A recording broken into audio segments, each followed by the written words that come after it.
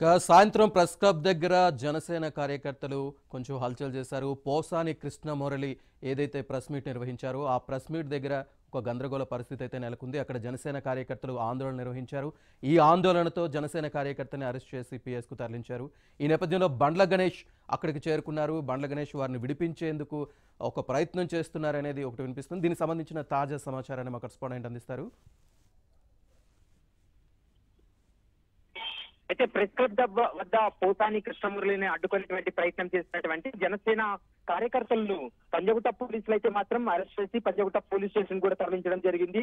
దీంతో నిర్మాత బల్ల గణేష్ కూడా కొద్ది నిమిషాల క్రితమే ఇన్స్పెక్టర్ కూడా మాట్లాడడం జరిగింది. అంటే వారిపై ఎలాంటి కేసులు పెట్టకుండా విడుదల చేయాలంటూ కూడా బండ్ల గణేష్ పోలీసులతో కూడా మాట్లాడినటువంటి పరిస్థితి ఉంది. మరికొద్ది సేపట్లోనే వాళ్ళని విడుదల చేసేటువంటి అవకాశం కూడా కనపడుతుంది. ఇప్పటికే దాదాపు ఎనిమిది మంది కార్యకర్తలు అక్కడ ప్రెస్ క్లబ్లో గోడ దూకి లోపలికి వెళ్ళిన తర్వాత అక్కడ దాడి చేసేటువంటి ప్రయత్నం చేశారు అడ్డుకునేటువంటి ప్రయత్నం చేశారు అనేటువంటి ఆరోపణల నేపథ్యంలోనే పోలీసులు అయితే మాత్రం వారిని అదుపులోకి తీసుకున్నారు.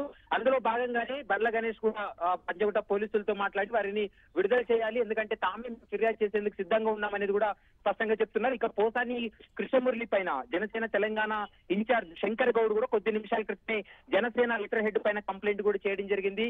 ఎందుకంటే ఒక సినిమా హీరో అనేది కూడా లేకుండా ఒక జనసే ఒక పార్టీకి అధ్యక్షుడిగా అనేది కూడా లేకుండా తన పైన మాటలు మాట్లాడి మాట్లాడారు. అభ్యంతరకరమైనటువంటి వ్యాఖ్యలు చేశాడు కాబట్టి వాటిని అన్నింటినీ కూడా పరిగణలోకి తీసుకొని పోసాని కృష్ణమురళిని అరెస్ట్ చేసి ఆ, రిమాండ్ చేయాలంటూ కూడా ప్రధానంగా అందులో పేర్కొన్నారు.